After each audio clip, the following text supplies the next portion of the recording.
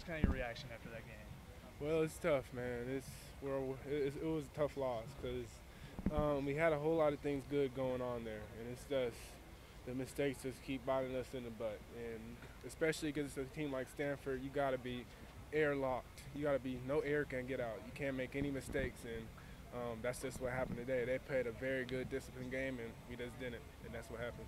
Is it a little bit more disappointing for you coming up here, being a you know being from from Stockton to come up here and lose in the Bay Area? Yeah, and especially this is the last time I'm be I'm gonna be up here, um, Cal or Stanford. So it did, it did, it, it was kind of disappointing to come up here and um, not perform the way we wanted to. But um, it's still a long season, and we still have a possibility to see them again. So um, I just try to look at the positives and just get back to working next week.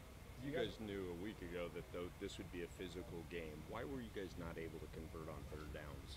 Uh, I don't know. It could, it could, it could be a number of things. It's just that um, we, we, we, we kind of took a couple plays off here and there. Um, even if we run the ball good, we have a couple good plays.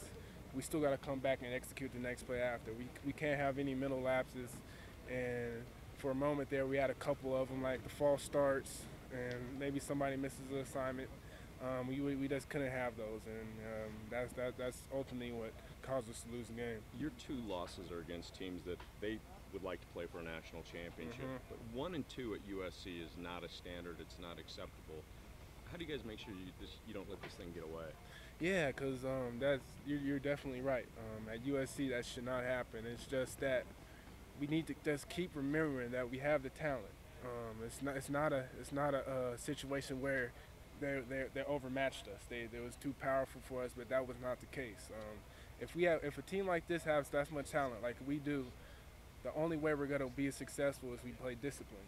If we don't play discipline with this talent, the talent is just going to go to waste, and that's what just makes me so mad. Um, so going forward here, we, we really got to just play our play to our assignments, play very good. There's physical football. There's no mistakes, and, and we'll be all right.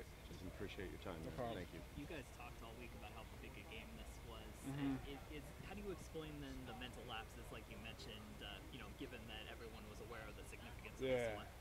Man, I, I I don't know what to tell you because um, it seemed like our football team was ready for this game, and and we, we, we took it upon ourselves to make this our game of getting USC back on the map. And it's just that here and there something went wrong when in the first first half we were doing okay with some plays, and then we get a mistake, and and we just can't recover for that, especially with a team like Stanford if you give them the ball, you're not going to get it for about seven minutes or whatever. So, especially with a team like this, um, we play to their game.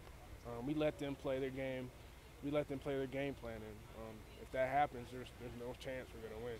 There was a, a fourth down uh, uh, in the second half. I think nine minutes to go. You guys Mhm. were in Stanford territory. Were you at all surprised that you guys punted there, down down 17?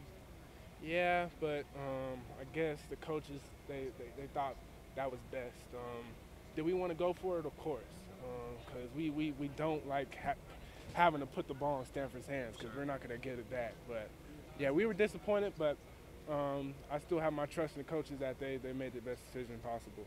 Along those same lines, you know, the the coach, any new coaching staff is always going to face some scrutiny. And, you Mhm. know, I know you guys like playing for Coach Helton. I- Yeah. Is it is it frustrating not to be able to kind of ease that situation? Yeah, man. I, I was just saying it to myself. It's just not fair for him.